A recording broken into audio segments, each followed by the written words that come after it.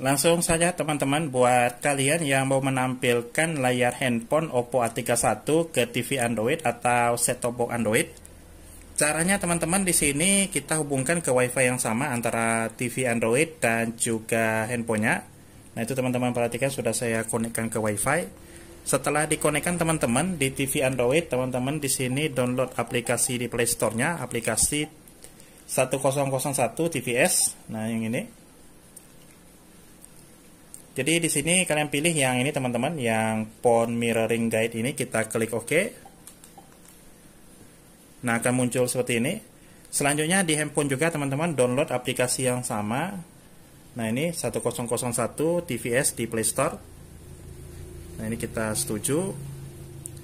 Jadi di handphonenya juga teman-teman kita hubungkan ke WiFi yang sama, TV dan handphonenya. Oke, Nah ini teman-teman bisa pilih yang ini. Mirror screen bisa atau lewat sini juga bisa. Ada scan barcode ini kita klik. Nah ini kita izinkan terlebih dahulu. Maka di sini akan ada barcode. Jadi kita scan barcode yang di TV lewat handphone. Nah seperti ini teman-teman. Oke nah ini ingin merekam 1001 ini kita klik izinkan. Nah ini izinkan. Maka itu sudah otomatis muncul teman-teman di TV nya Oke mantap. Sudah berhasil Oke, nah jadi seperti itu kita sudah bisa menampilkan layar handphone Oppo A31-nya ke TV Android atau set-top Android caranya sama teman-teman.